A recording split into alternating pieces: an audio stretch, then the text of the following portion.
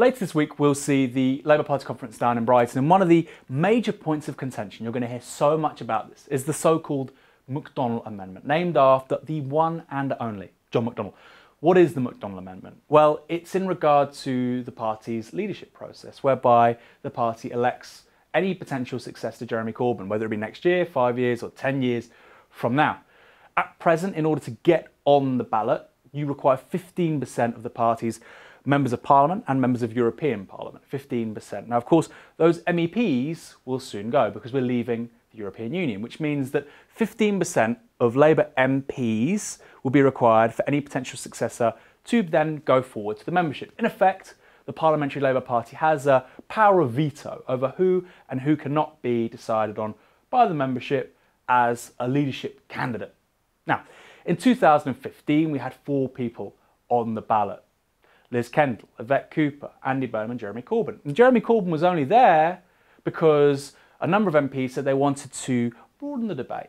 There wasn't really much of an instinct that he would do particularly well. After all, the left always loses. And had they thought he would win or even stand a chance of winning, he never would have got the nominations that he needed. In fact, Margaret Beckett, just a few months later, one of the signatories for his candidacy, said it was the biggest mistake of her political career. And the McDonnell Amendment recognises that. It recognises that it could be quite difficult for any potential successor to Corbyn from the left to get on the ballot. That's why it proposes to reduce the limit from 15% of MPs to just 5%. Now, I love John McDonnell to bits. I think he's a phenomenal guy, a great politician. He's one of my favourite people on planet Earth. But, John, this time I think you just got it very, very badly wrong. I really have to take exception to this. I wholeheartedly disagree. It shouldn't be 5%. It should be zero. Now, there's two reasons why I say that. First and foremost, we know that the Labour Party membership has better political instincts than the Parliamentary Labour Party. After all, it was they who identified Jeremy Corbyn as the best candidate to revivify, to reinvigorate the Labour Party, and they were right. The experts, and many, in fact, the majority of his colleagues in Parliament, were wrong. The membership said that Jeremy Corbyn could make Labour competitive. His colleagues said he couldn't, that Labour would crash under his leadership to a historic defeat, a repeat, inevitably, of 1983. That showed the limits of their political imagination.